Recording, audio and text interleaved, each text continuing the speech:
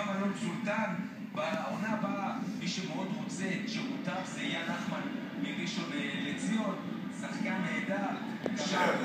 וואו. יש לקיטבה שעכשיו יכול לסדר גם את הרביעי. אין שם נבדל. האם נגמר הסיפור?